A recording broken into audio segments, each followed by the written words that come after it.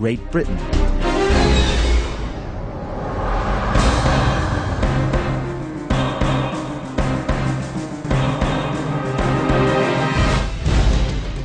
The world famous press agency, Reuters, whose news reports serve 1 billion people every day, carried a story containing extracts from an interview with Adnan Oktar by Tom Heneghan, the agency's senior religious correspondent based in its Paris office. Titled, Muslim Creationist Preaches Islam and Awaits Christ.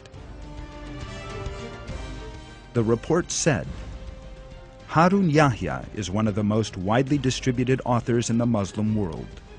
His glossy books and DVDs on religion and science sell in Islamic bookshops around the globe. He lets readers download much of his work from his websites for free.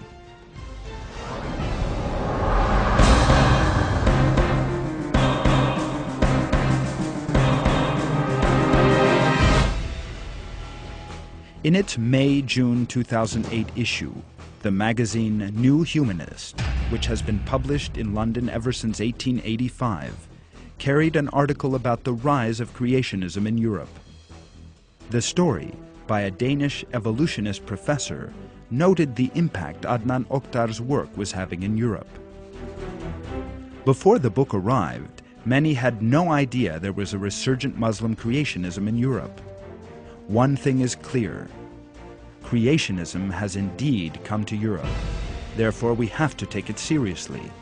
What we have seen so far is just the beginning.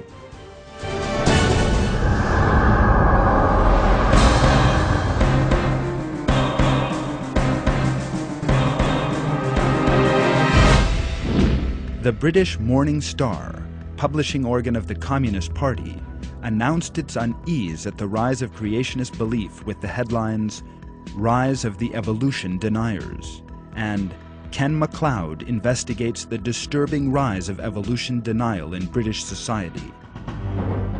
The collapse in Europe of Darwinism, the supposed scientific basis for communism, is alarming the proponents of communist ideology because there can be no communism where there is no Darwinism. With the realization of the false nature of Darwinism, communism has today lost the support it used to draw from Darwinism and is condemned to be remembered as a discredited ideology. This is what the article had to say about the rise in the belief in creation.